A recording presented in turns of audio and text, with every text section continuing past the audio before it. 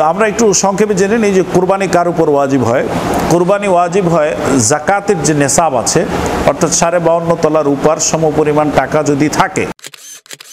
অনেকে আমাদের কাছে প্রশ্ন করে, কারও ইনকাম যদি হারাম হয় তাহলে তার তাকে শেয়ার নেওয়া যাবে কিনা? এর উত্তর হচ্ছে, তার ইনকামের আদ্যপন্ত পুরাটাই যদি হারাম হয় তাহলে তাকে শেয়ারে নেওয়া যাবে না। কারণ স্যার, এই হরমতের কারণে অন্য বাকিদের কোরবানিও নষ্ট হয়ে যাবে। অথবা এই শরিক নেওয়ার ক্ষেত্রে কারও একজন যদি এখলাস শূন্য হয়, তাহলে বাকি কারও কোরবানি হবে না। কিন্তু অত্যন্ত পরিতাপের সাথে বলতে হচ্ছে, বর্তমান সময়ে বিভিন্ন টক শোতে জ্ঞান পাপীরা অনেকে যারা নিজেদেরকে বুদ্ধিমান দাবি করে, আমরা জানি এই বুদ্ধিমানদের অবস্থা কি। সাম্প্রতিক ঘটে যাওয়া এক ঘটনা থেকেও আমরা আজ করতে পারি। যারা শুধু টক শোতে বড় বড় কথা বলে, কিন্তু দুর্নীতির বড় পাহাড় তাদের তৈরি করা থাকে। তো এরা অনেকে একটা আওয়াজ উঠিয়েছে সাম্প্রতিক সময়ে যে করোনায় ক্ষতিগ্রস্ত মানুষকে যদি সাহায্য করা হয়, কুরবানিটা না করা হয়, অথবা কুরবানির হাটের কারণে, কুরবানির পশু জবের কারণে সামাজিক দূরত্ব বজায় থাকবে না, করোনার ঝুঁকি থাকবে।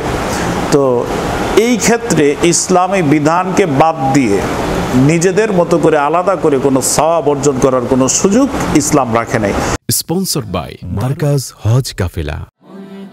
উমরাহ বুকিং চলছে উমরাহ বুকিং চলছে। সবচেয়ে কম খরচে উমরাহ পালনের সুবর্ণ সুযোগ, প্যাকেজে যা থাকছে, ভিসা ও এয়ার টিকিট। কাছাকাছি হোটেল ব্যবস্থা, অভ্যন্তরীণ ট্রান্সপোর্ট সমূহ তাইফ ও ওয়াদিয়ে জিন সহ মক্কা ও মদিনার দর্শনীয় স্থানসমূহ।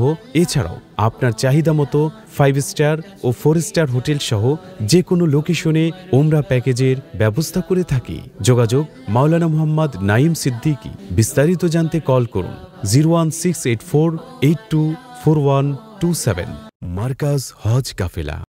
আসসালামু আলাইকুম রহমতুল্লাহি ওবরাকাতু আলহামদুলিল্লাহ ওসালাত ওয়াসালাম আলা রসুলিল্লাহ আম্মা বাদ فأعوذ بالله من الشيطان الرجيم بسم الله الرحمن الرحيم إنا أعطيناك الكوثر فصل لربك وانحر صدق الله العلي العظيم সম্মানিত দর্শক শ্রোতা আপনাদের সকলকে আন্তরিক মোবারকবাদ জ্ঞাপন করছি আজকে আমরা কথা বলবো ইসলামের একটি অন্যতম বিধান সেটি হচ্ছে কোরবানি। কোরবানি শব্দের অর্থ কি? কোরবানি এটা কেরবানুন শব্দ থেকে এসছে, যার অর্থ হচ্ছে নৈকট্যশীল। যেমন কোরআনে কারিমে ইরশাদ হয়েছে, ইজ কররামা কোরবানান ফাতুকুব্বিলা মিন আহাদিহিম। হাবিল এবং কাবিল, আদম আলাইহিস সালাতু ওয়াসসালামের যে দুই সন্তান, সেখান থেকে এই বিষয়টার উৎপত্তি হয়। যুগ যুগ ধরে বিভিন্ন সময় বিভিন্নভাবে এটা ছিল, তবে আমাদের কাছে যে কোরবানিটা আসছে, সেটা হচ্ছে হজরত ইব্রাহিম আলী সালাতামের সুন্না সাহাবাই কারাম নবীজিকে জিজ্ঞেস করেছিল, মা হাদিহিল্লাহিউ ইয়া রাসূলুল্লাহ? ক্বালা সুন্নাত আবিকুম ইব্রাহিম। যেটা তোমাদের নবী ইব্রাহিম আলাইহিস সালামের সুন্নাত, তখন সাহাবীরা জিজ্ঞেস করেছিল, আমাদের জন্য এর মধ্যে কি ফজিলত নিহিত আছে? তখন নবী আলহি সালাতাম উত্তর করেছিলেন, বিকুল্লি শাহ আরাতিন হাসানা যে প্রত্যেকটি পশমের বিনিময়ে তোমরা এক একটি করে ন্যাক পাবে। কেউ একজন জিজ্ঞেস করল, ইয়া রসুল্লাহ যদি ভেড়া আমরা কোরবানি করি, সেই ক্ষেত্রে ভেড়ার শরীরে অনেক পশম, তো সেক্ষেত্রে সওয়াব কি বেশি হবে? কিনা নবীজি বলছে যে হ্যাঁ সেখানেও সওয়াব হবে। তো আমরা একটু সংক্ষেপে জেনে নিই যে কোরবানি কার উপর ওয়াজিব হয়? কোরবানি ওয়াজিব হয় জাকাতের যে নেশাব আছে, অর্থাৎ সাড়ে বাউন্ন তলার উপর সম পরিমাণ টাকা যদি থাকে, সাড়ে বাউন্ন তলার রূপার যে দাম হয় সেই পরিমাণ টাকা যদি কারও কাছে উদ্বৃত্ত থাকে জাকাতের সাথে কোরবানির একটা মৌলিক পার্থক্য হচ্ছে কোরবানির নেশাবের। সেটা হচ্ছে জাকাতের জন্য এক বছর অতিক্রান্ত হতে হয়, কিন্তু পক্ষান্তরে কোরবানির ক্ষেত্রে শুধু এই আয়ামে আজহা আয়ামে জবি হাত যে তিন দিন আছে, ওই তিন দিনের মধ্যেই যদি কারও কাছে পঁয়তাল্লিশ হাজার টাকার মতো থাকে, তার উপর কোরবানি ওয়াজিব হয়ে যাবে। তো এটা হচ্ছে আমাদের বিধান। কিন্তু অত্যন্ত পরিতাপের সাথে বলতে হচ্ছে, বর্তমান সময়ে বিভিন্ন টক শোতে জ্ঞান পাপীরা, অনেকে যারা নিজেদেরকে বুদ্ধিমান দাবি করে, আমরা জানি এই বুদ্ধিমানদের অবস্থা কি, সাম্প্রতিক ঘটে যাওয়া এক ঘটনা থেকেও আমরা আজ করতে পারি। যারা শুধু টক শোতে বড় বড় কথা বলে, কিন্তু দুর্নীতির বড় পাহাড় তাদের তৈরি করা থাকে। তো এরা অনেকে একটা আওয়াজ উঠিয়েছে সাম্প্রতিক সময়ে যে করোনায় ক্ষতিগ্রস্ত মানুষকে যদি সাহায্য করা হয়, কুরবানিটা না করা হয়, অথবা কুরবানির হাটের কারণে, কুরবানির পশু জবের কারণে সামাজিক দূরত্ব বজায় থাকবে না করোনার ঝুঁকি থাকবে।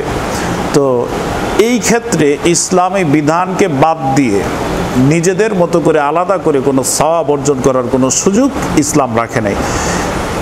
এটা ইসলামী বিধানের সাথে সাংঘর্ষিক হলে আমরা কখনো সেটাকে অ্যাকসেপ্ট করব না।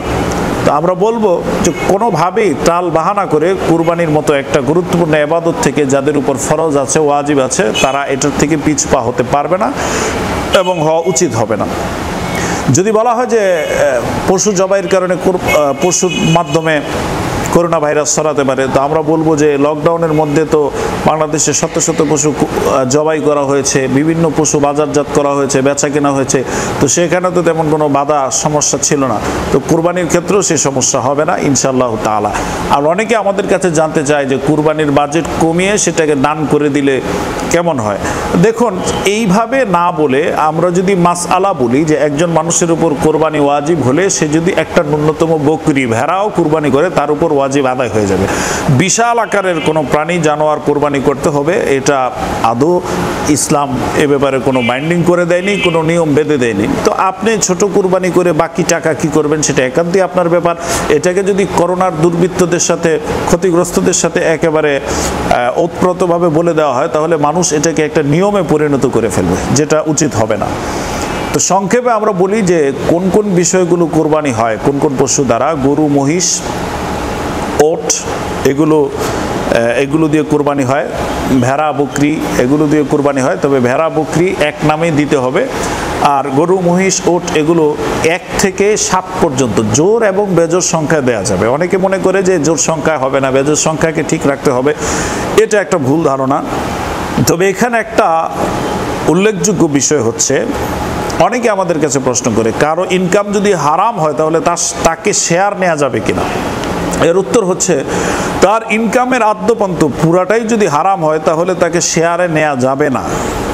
কারণ স্যার, এই হরমতের কারণে অন্য বাকিদের কোরবানিও নষ্ট হয়ে যাবে। অথবা এই শরিক নেওয়ার ক্ষেত্রে কারও একজন যদি এখলাস শূন্য হয়, তাহলে বাকি কারও কোরবানি হবে না। আর যদি কারও ইনকামের মৌলিক বেসিকটা হালাল হয়, তাহলে তাকে শিরকত নেওয়া যাবে। তবে সবচেয়ে উত্তম হচ্ছে একা একা নেওয়া অথবা নিশ্চিত এমন মানুষকে নেওয়া যে যাদের মধ্যে, যাদের দিনদারির ব্যাপারে আপনার দিলের ভিতরে সেই কনফিডেন্স আছে, তাদেরকেই নেওয়া উচিত। তো আমরা এভাবে কুরবানি করব। কুরবানির একটা স্লোগান আমাদের থাকবে, শুধু পশুর কুরবানি নয়, পশুর সাথে সাথে আমাদের পশুত্বের কুরবানিও যাতে আমরা করতে পারি। আল্লাহ সুবাহ তালা আমাদেরকে আমল করার তৌফিক দান করুক। ওয়াখির দাওয়ান আলহামদুলিল্লাহ রবিল আলম